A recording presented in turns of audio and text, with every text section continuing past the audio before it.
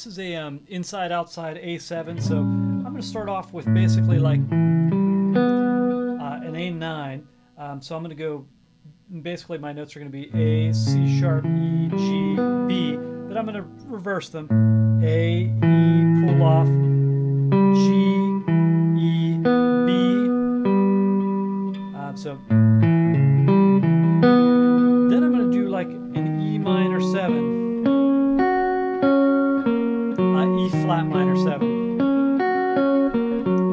That gives all kinds of very interesting notes. So I've got a flat 5, um, sorry, flat 5, 13, flat 9, 3, 13 again. So uh, I'm going to do like this. And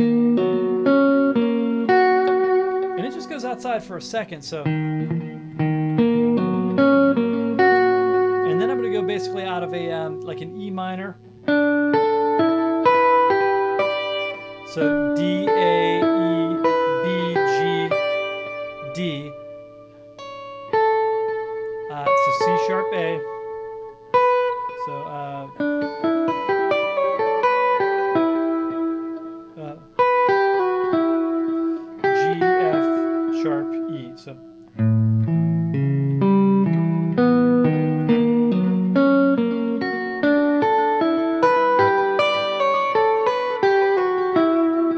Then sometimes I'll use my uh, middle finger for pulling off.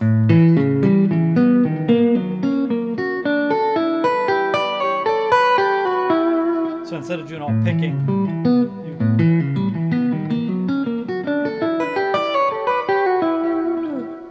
All right, let's try this in context.